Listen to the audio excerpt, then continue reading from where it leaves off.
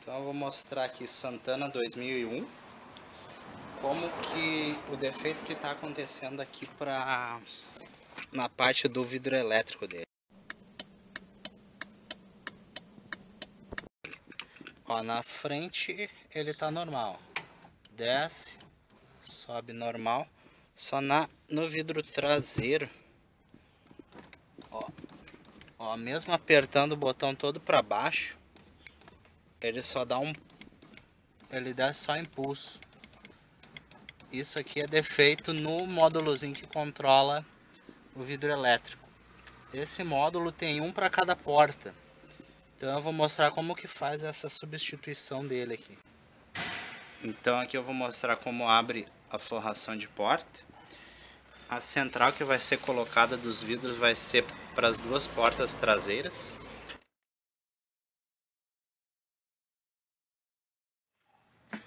Aqui é só puxar essa travinha.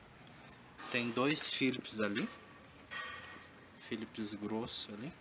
E aqui tem mais Philips aqui. Por baixo aqui também tem. E aqui é só desplugar o conector do, do botão do vidro elétrico. Tem que abrir as duas forrações de porta. Eu já vou mostrar como que faz a ligação. Ah, e essa moldurinha aqui também sai. É só puxar ela no sentido oposto para cá. Então aqui eu já estou com a forração da porta aberta. Aqui a gente está com o módulo do vidro. Eu já estou com ele, os parafusos soltos aqui.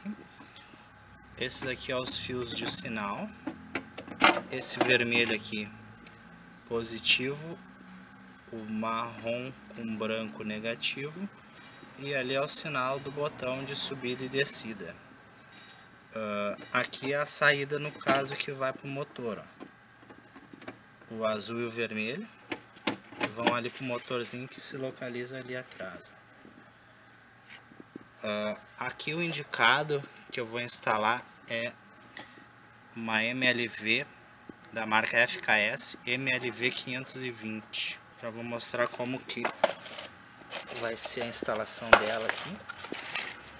Ela vem aí com a centralzinha, a central, chicotinho e o manual instala ela. Ela vai fazer a função do módulo das duas portas dos dois vidros traseiros. Tudo por essa centralzinha aqui